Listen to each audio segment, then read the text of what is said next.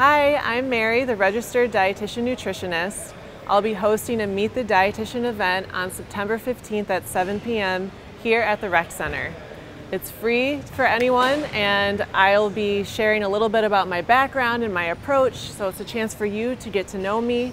If you have any questions about nutrition or cooking or health, come by, hang out with me, and learn all about the services that I offer. I would love to meet you.